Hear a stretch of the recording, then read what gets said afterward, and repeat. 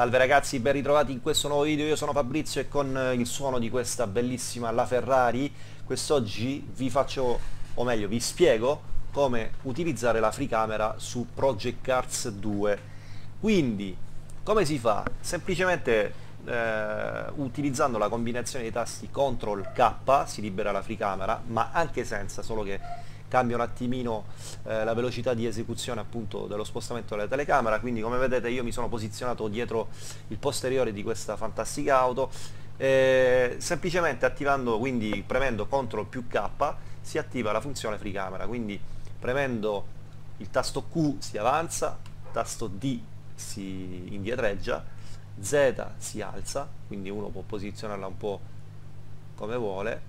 Op, io la voglio così per dire voglio guidare così, vi dimostro che posso guidare così, vedete?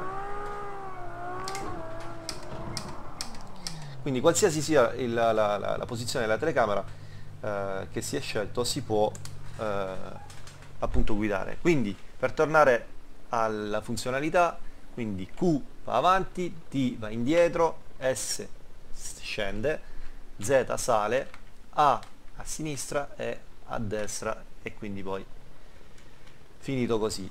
Uh, si ha la possibilità però di poter affinare eh, veramente la posizione della telecamera. Se io eh, cambio e mi metto all'interno e voglio semplicemente girare la testa, basta rifare di nuovo CTRL K e con il, tenendo il tasto eh, sinistro del mio mouse mi sposto a destra e a sinistra e eh, le assi sono eh, verticali sono invertiti, quindi se faccio verso di me vado verso l'alto e in basso. E anche qui se lascio così senza toccare posso tranquillamente guidare nella posizione che voglio. E posso sistemarlo come voglio.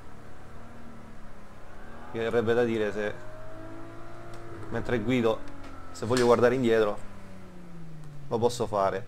Quindi qui non solo posso fare dei cliché abbastanza interessanti in, in, in posizioni della macchina che normalmente le, le telecamere standard non ci offrono come possibilità. Eh, ma posso anche sistemare la, la visuale veramente come, come, mi piace a me.